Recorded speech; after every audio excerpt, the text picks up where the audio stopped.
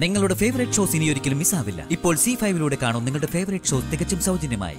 വിനയും റിയയും പുറത്തുപോയി വന്നപ്പോഴാ പാർവതി ഗർഭിണിയായ വിവരം പറഞ്ഞത്.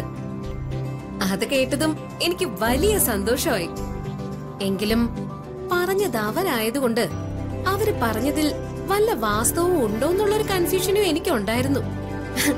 ഇപ്പോഴാ അത് മാറി കിട്ടിയത്.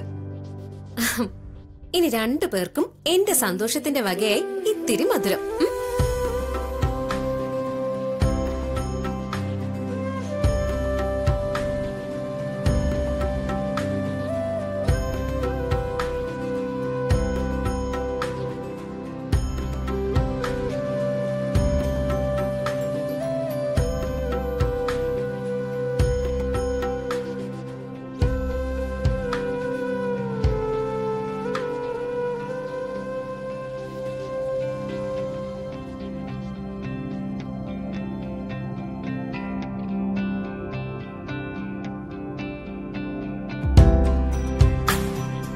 വിശാൽ സർ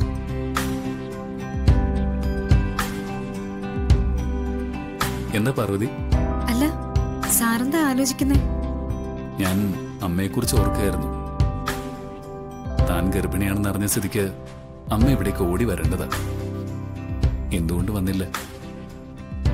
എന്തായാലും നമുക്കൊരു കുഞ്ഞ് ജനിക്കാൻ പോകുന്നു അറിയുമ്പോൾ അമ്മയ്ക്ക് തീർച്ചയായും അത് വലിയ സന്തോഷം തന്നെയായിരിക്കും. എന്നിട്ടും അമ്മ വരാതിരിക്കണമെങ്കിൽ എന്തായിരിക്കും കാരണം? ചിലപ്പോ ഈ വിശേഷം ഞാൻ വിളിച്ച് പറയാത്തതിന്റെ വിഷമത്തിലായിരിക്കും.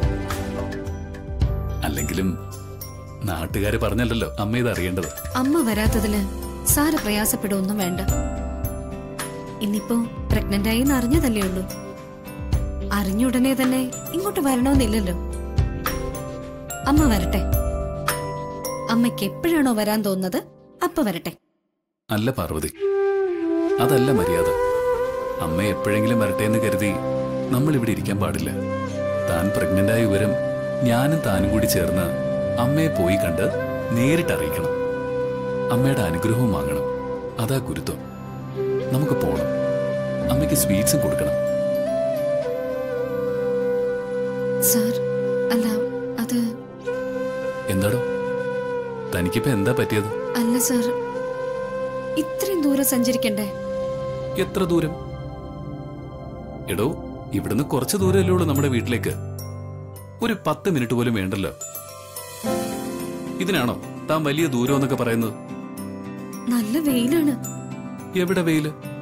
അത്ര പൊള്ളുന്ന വെയിലൊന്നും പുറത്തില്ല. ഈ വെയിലൊക്കെ സഹിക്കാവുന്നേ ഉള്ളൂ. അല്ലടോ പ്രഗ്നന്റ് ആണെന്ന് അറിഞ്ഞത് മുതൽ തനിക്ക് മടി പിടിച്ചോ? അങ്ങനെയൊന്നുമില്ല. എന്നാലേ താൻ ഞാൻ പറയുന്ന കേൾക്ക്. താൻ ചെന്ന് റെഡിയാവും. നമുക്കേ ഇപ്പൊ തന്നെ പോവാം. ഇനി ഈ സന്തോഷ വാർത്ത അമ്മയോട് പറയാതിരുന്നാലേ എനിക്ക് വലിയ വിഷമാവും. ഒന്ന് റെഡിയായി വേണോ സ്വത്തുക്കളും വീടും പ്രഭാവതി അമ്മയുടെ കയ്യിൽ നിന്നും തിരികെ പിടിക്കുന്നത് വരെ ആ വീടിന്റെ പടി ചവിട്ടരുതെന്ന് തീരുമാനിച്ചിരുന്നതാ. പക്ഷേ വിശാൽ സാർ സങ്കടപ്പെടുമെന്ന് പറയുമ്പോ ഞാൻ എന്ത് ചെയ്യും? താനിത് എന്ത് ചിന്തിച്ച് നിൽക്കുക? റെഡിയാവണ്ടേ? പോയി റെഡിയാവ്. ഞാനും ഈ വേഷമൊക്കെ മാറ്റിയിട്ട് വരാം.